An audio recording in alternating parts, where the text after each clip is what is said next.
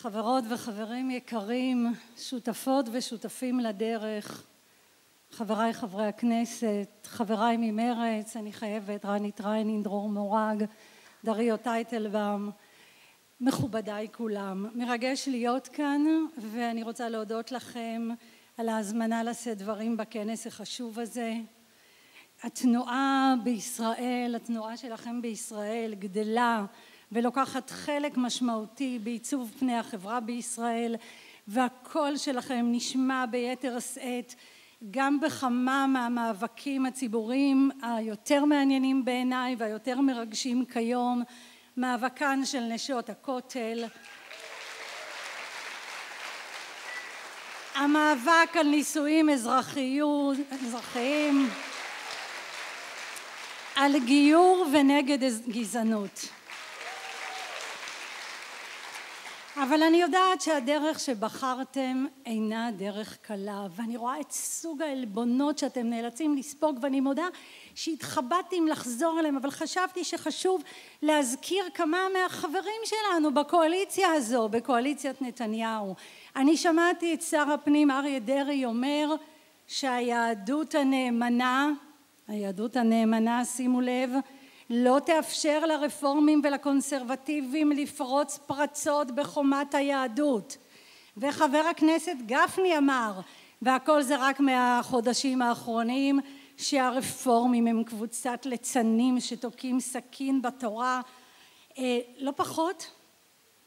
וחבר הכנסת אייכלר המסית אמר שנשות הכותל הן המורביטת והמורביטן והגדיל שר הדתות שאמר שהרעיון לפתוח רחבה נפרדת בכותל זה ייהרג ובל יעבור. לא פחות. אבל אז הגיעו השרים אלקין ולוין והראשון הצהיר שהוא מתנגד למתן מעמד לתנועה הרפורמית והקונסרבטיבית בישראל והשני לוין האשים את הרפורמים כאחראים להתבוללות בארצות הברית וגם קשקש איזה משהו על זה שהיהודים הרפורמים בארצות הברית זה בכלל עולם הולך ונעלם אני מצטטת. אבל רק אחד לא שמעתי. את ראש הממשלה?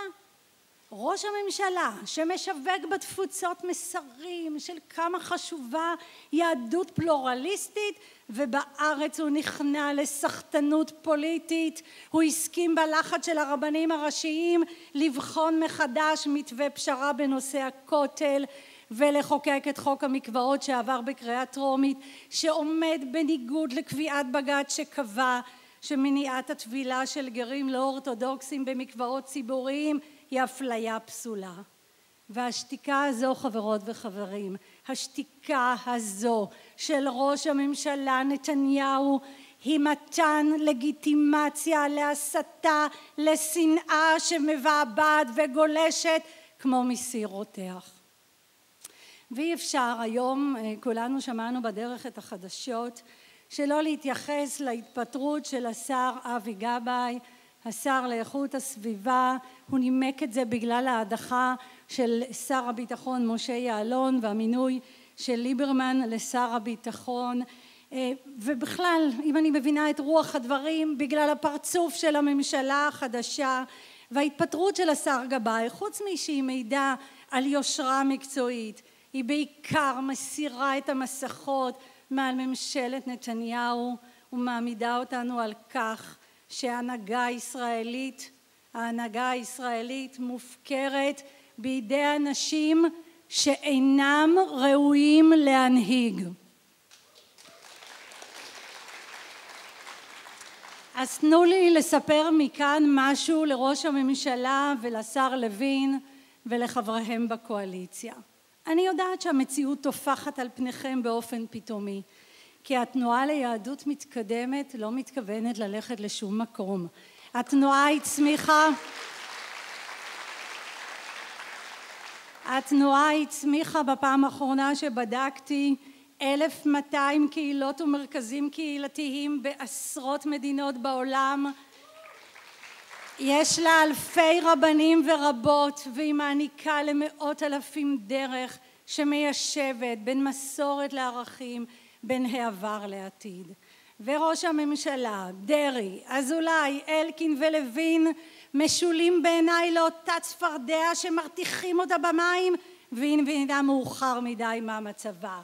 כי התנועה ליהדות מתקדמת הביטה בקורפוס היהודי וניסתה ללמוד איך אפשר לחיות כיהודי היום. איך לחיות יהדות שרואה נשים כשוות מעמד שאינה משפילה אנשים על רקע הנטייה המינית שלהם שיש בה כבוד לאחר ולזר יהדות חיה עדכנית שלא מתחמקת מהכרעות מוסריות והפעילות הזו שלכם היא מאיימת על המונופול הבלעדי של האורתודוקסיה הדתית והחרדית. כי אתם אלה שיושבים כאן והחברים שלכם והשותפים שלכם אתם העזתם לומר שאתם גם אתם יהודים.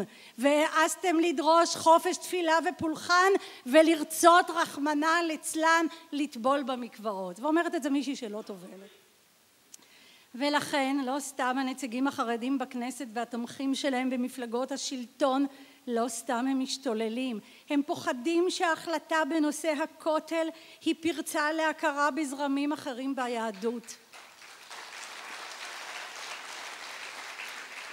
אבל לא רק על היהדות הם פוחדים הם יודעים מצוין שהיהדות לא תיפגע אם יהיה בה פתח לקולות אחרים להומואים ללסביות לטרנסים לאתאיסטים ולמאמינים ולנשים. כולנו כאן. כולנו ישראל ושאף אחד לא ישכנע אתכם אחרת. הם יודעים שהיהדות לא תיפגע אם תהיה רחבה נפרדת בכותל שתאפשר תפילה לזרמים אחרים בדרכם.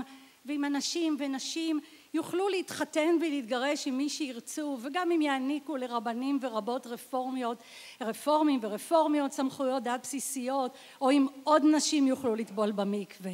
הם פוחדים אני אומרת את זה כאן לכם כי המאבק הזה הוא גם ואולי תחילה מאבק על סוג המדינה שאנחנו חיים בה. כי ישראל לא יכולה להמשיך ולהפקיר את שירותי הדת בה רק לממסד האורתודוקסי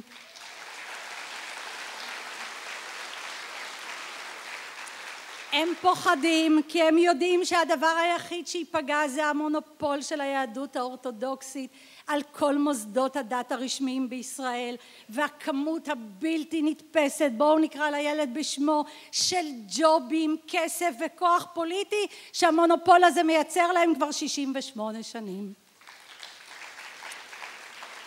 חברות וחברים וכל זמן שלא ינותק הקשר בין הממסד האורתודוקסי לבין המדינה כל זמן שמונופול חרדי יחליט איך על יהודי בישראל לנהל את חייו יהיה קשה מאוד ליישם במדינה יהדות אחרת יהדות מהסוג שאתם מציעים.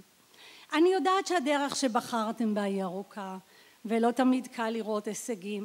גם אני ראיתי אני חייבת לומר לא יכולתי להתאפק איך יאיר לפיד שרץ על הבטחה של יהדות מתחדשת נעשה פתאום אברך לרגע וראיתי איך הוא וליברמן בכלל זרקו לפח את כל ההבטחות על נישואים אזרחיים. עכשיו במאבקים פוליטיים ובמיוחד במאבקים שנוגעים ללב ליבה של זהות המדינה תמיד יש גם